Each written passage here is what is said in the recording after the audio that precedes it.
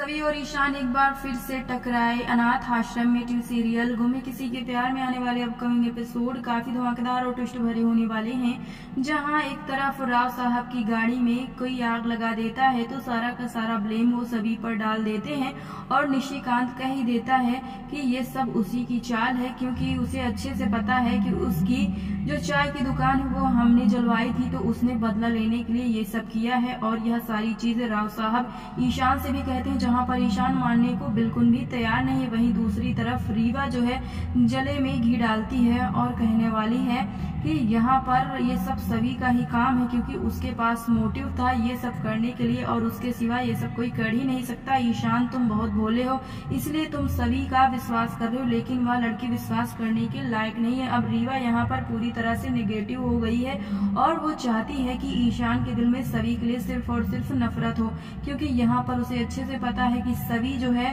वह ईशान को अपनी तरफ़ न किसी बहाने झुका ही लेती है और ईशान उसकी साइड भी हो जाता है ना चाहते हुए। लेकिन अब यहाँ पर वह सभी को ईशान के पास बर्दाश्त ही नहीं करना चाहती। इसीलिए वह बार बार सभी को बदनाम करती ईशान के सामने, जहाँ पर ईशान कोई भी बात मानने को तैयार ही नहीं होता। उसका दिल नहीं मानता कि सभी ऐसा कुछ कर सकती है। वहीं दूसरी तरफ़ चिन्मय जो मदद लेकर के गया था, वो भी राव साहब को पता है और यह सारी चीज़ें वह ईशान से कहते हैं कि किस तरह से चिन्मय गया था, उसको मदद करने के लिए। लेकिन वह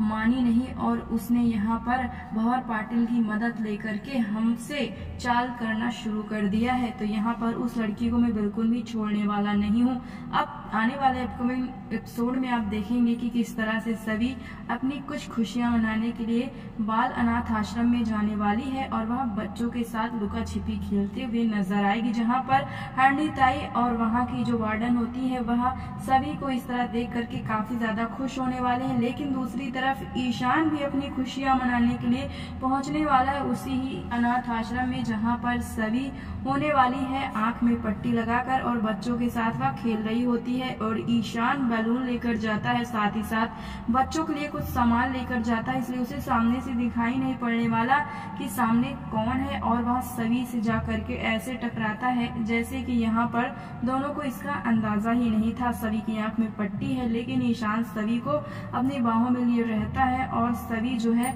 जब आँख से पट्टी हटाती है तो ईशान सामने नज़र आता है। काफ़ी देर तक वह दोनों एक दूसरे को देखते रह जाते हैं। ईशान के दिल में अब सभी के लिए प्यार है, ये साफ़ झलकता है हरनी ताई, ये सब देख करके काफ़ी ज़्यादा पहले शौक हो जाती है, फिर उसको पता नहीं क्यों अच्छा लगता है, यह सारी चीज़ें कि सभी जो है, वह ईशान सर के लिए जैसे बने हो, लेकिन ये लोगों के आपस में पता नहीं क्यों नहीं बनती। अब दूसरी तरफ़ सभी ईशान का रिएक्शन क्या होने वाला है? इस तरह से टकराने का आने वाले अपकमिंग एपिसोड में देखने को मिलने वाला है, जहाँ पर आप देखेंगे कि क्या यहाँ ईशान सभी से राव साहब की कार के बारे में पूछने वाला है, या फिर यहाँ पर कुछ और ही होने वाला है। क्योंकि जैसा कि उसको रीवा ने भड़काया है तो क्या वह अपनी भड़ास सभी के सामने निकालेगा, या फिर उसे विश्वास ही नहीं है? इस बात का लेटेस्ट अपडेट पाने के लिए चैनल को सब्सक्राइब करें वीडियो को लाइक करें बेलाइकन को प्रेस करना ना भूलें।